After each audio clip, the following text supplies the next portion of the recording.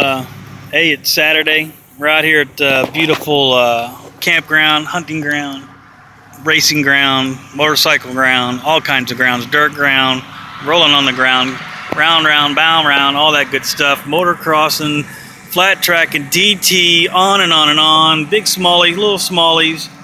They're all out here. Hey, we're all out here. Check it out. Splinter Creek. We're having a good day. It's hot. It's warm. It's a fantastic day to be at the races. So I want to tell everybody thanks for uh, letting me do the photos and stuff out here. I'm having a blast. Uh, really working out, getting the, uh, the sweat on, running the hills and that. It's awesome. So we'll get at you later.